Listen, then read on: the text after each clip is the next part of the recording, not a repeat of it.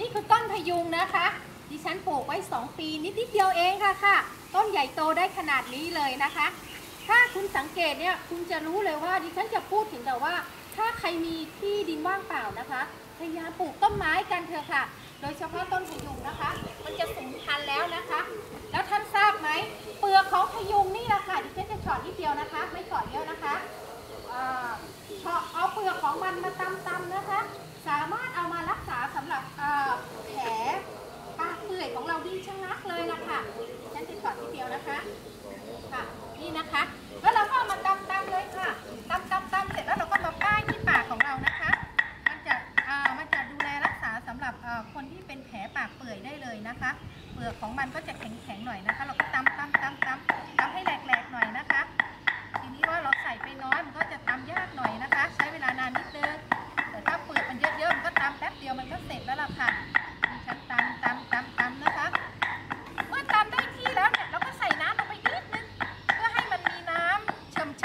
นะคะนี่น้ำนะคะใส่ไปนิดเดียวไม่ต้องเยอะนะคะ ใส่ไปนิดเพื่อจะได้สะดวกในการที่เราเอามาป้ายแผลในปากเรานะคะค่ะเมื่อตำตำตำไปแล้วนี่ที่เราได้ที่แล้วนะคะค่ะเดี๋ยวดิฉันจะให้คุณดูนะคะ ค่ะเมื่อตามไปแล้วจะเป็นอย่างนี้นะคะ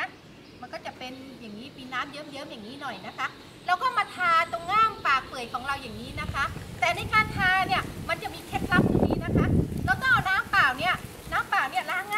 ก่อนนะคะ ล้างง่ามปากถ้าเราเป็นเปื่อยสองข้างเราก็ล้างสองข้าง แต่ดิฉันจะล้างแค่ข้างเดียวอย่างนี้นะคะ เมื่อล้างเสร็จแล้วเราก็เช็ดให้แห้งนะคะ เมื่อแห้งแล้วเราก็เอา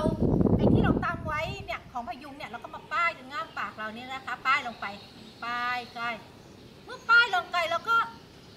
มันก็ไม่ขมไม่อะไรนะไม่ขมไม่อะไรธรรมดาจืดๆแล้วก็ป้ายป้ายพอเหลือแล้วอย่างเนี้ยเราก็เก็บเข้าตู้เย็นไว้นะคะ พอหลังจากใช้ถ้าเกิดมันแห้งเราก็มาตำตำตำแล้วก็ น้ำแล้วป้ายต่อเนื่องอย่างนี้ละค่ะ ไม่เกินสิบวันละค่ะ อาการแผลปากเปื่อยของเราเนี่ยจะบรรเทาหายลงได้เลยนะคะ